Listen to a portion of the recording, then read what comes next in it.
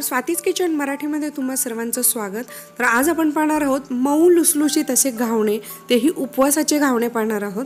तर हे घावणे उपवासाच्या बटाट्याच्या भाजीसोबत चटणीसोबत खूप टेस्टी लागतात. खूप कमी तेलात बनवलेले असल्यामुळे चविष्ट पण आहेत आणि त्याचबरोबर हेल्दीसुद्धा आहेत. तर त्यासाठी इथे मी एक कप भिजवलेली भगर घेतलेली आहे आणि इथे अर्धा कप साबुदाणा घेतलेला आहे भिजवलेला. तर हा देखील जास्त पाणी टाकून भिजवला तरी हरकत नाही. आणि भगर तुम्ही अगदी दोन तास जरी भिजवली तरी हरकत नाही. तर एक वाटी सा भगरला आपण अर्धा ते पाऊण वाटी साबुदाणा घ्यायचा आहे. भिजवायचा आहे दोन्हीला सुद्धा.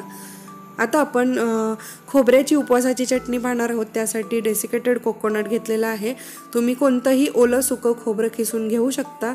एक चमचे जिरे आणि तीन हिरव्या मिरच्या. आणि इथे पाव कप मी ताजं दही घेतलेलं आहे. याने खूप छान चव येते. आणि मीठ टाकायचं आहे. उपवासासाठी चालणारं कोणतंही मीठ टाका. आणि मुठभर कोथिंबीर ही चालत असेल तरच तुम्ही टाका नाहीतर स्किप करा. आता वाटून घ्यायचं आहे. तर वाटताना आपण पाव कप पाणी टाकायचं आहे जेणेकरून चटणी छान थिक ठीक बनेल. चटणी आपली अशा पद्धतीने तयार झाली आहे. तुम्हाला हवं तर तुम्ही जिरे आणि तुपाची फोडणी देऊ शकता. पण मी इथे अशीच ही चटणी घेणार आहे. कारण अशीसुद्धा घावण्यांसोबत खूप छान लागते ही चटणी. तर चटणी तयार आहे. आता आपण घावण्यांसाठी बॅटर तयार करायचं. आहे तर त्यासाठी भिजवलेले वरी तांदूळ आणि साबुदाणा आपल्याला याचं मिक्स वाटण करायचं आहे. तर या वाटणासोबत चार हिरव्या मिरच्या टाकलेल्या आहेत. एक चमचा जिरे आणि त्याचसोबत आपण चवीनुसार मीठ टाकायचं आहे आणि एक पाऊण कप मी इथे पाणी टाकणार आहे. आता याला व्यवस्थित जसं तांदळाचे घावण्यांना बॅटर बनवतो त्याचप्रमाणे मऊसर असं पातळ मऊ असं बारीक वाटलेलं बॅटर करायचं आहे.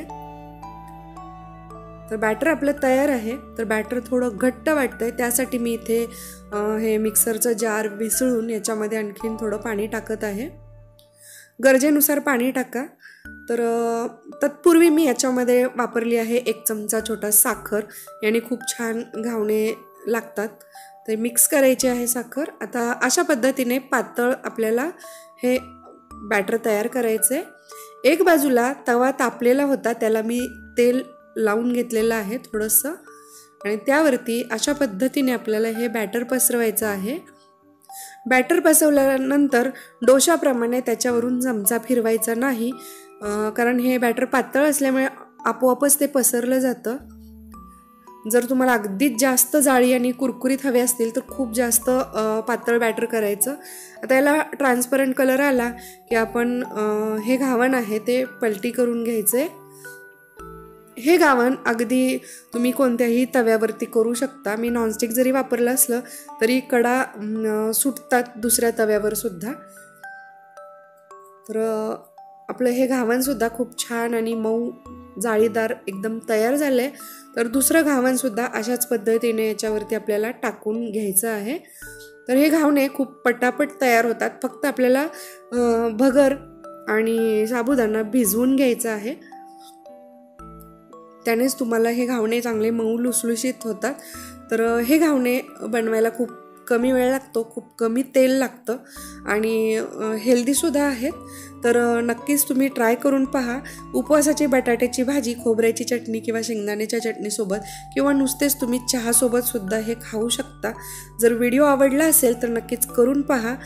तुमच्या कमेंटद्वारे तुमचे फीडबॅक द्या आणि व्हिडिओ आवडला तर लाईकचं बटन दाबून चॅनलला सबस्क्राईब करा. नोटिफिकेशन बेल दाबा. पुन्हा भेटूया नवीन रेसिपीसोबत तोपर्यंत धन्यवाद.